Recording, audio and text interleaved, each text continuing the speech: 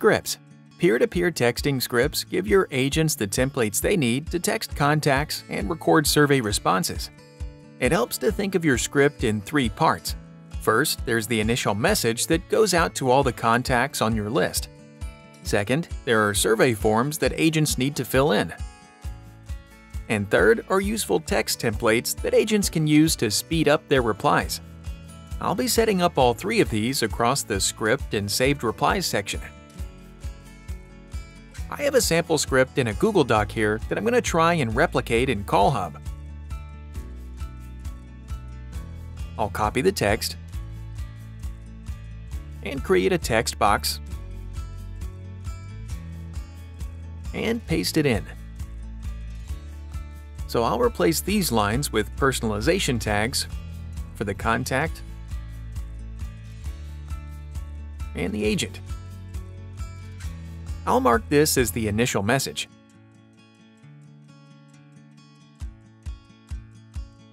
So this is the message that agents will be prompted to send out as soon as they join a campaign. In this message, I'm informing folks about an event. And if they reply, I want agents to make the ask to see if they can attend. So that's going to be my second message. Can you join us at City Park Auditorium at 3 p.m.?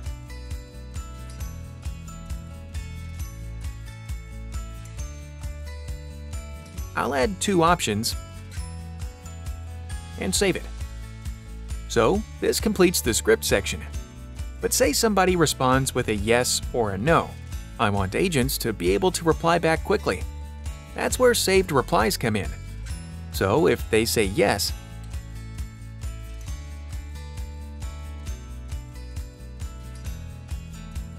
I want agents to reply back with this answer.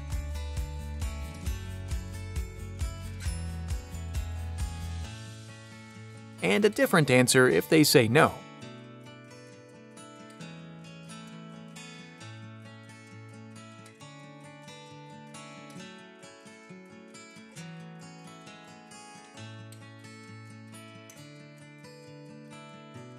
That's an overview of peer-to-peer -peer texting scripts in CallHub.